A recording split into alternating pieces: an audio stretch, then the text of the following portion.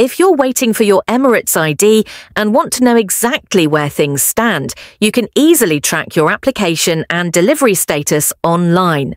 The process is simple and only takes a few minutes. Start by visiting the official ICP Smart Services website.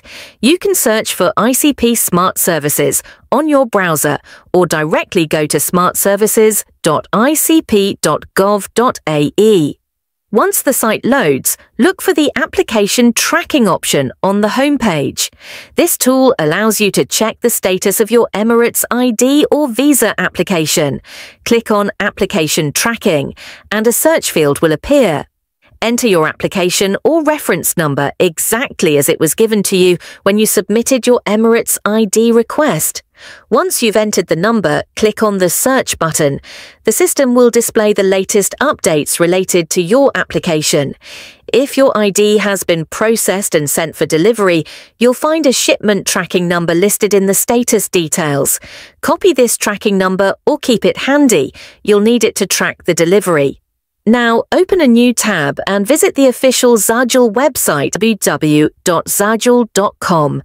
On the homepage, you'll see a section labelled Track Your Shipment.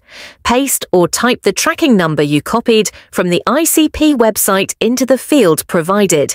Click on the Track Now button, and the system will retrieve your shipment details.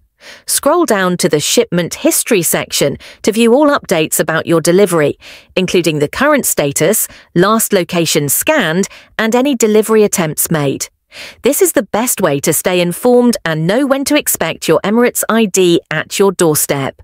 And that's it. You've successfully tracked both your Emirates ID application status and the delivery progress. It's a straightforward process that keeps you updated every step of the way. If you found this guide useful, please consider subscribing. It really helps support the channel and allows us to create more helpful content for you. Thanks for tuning in, IDEO.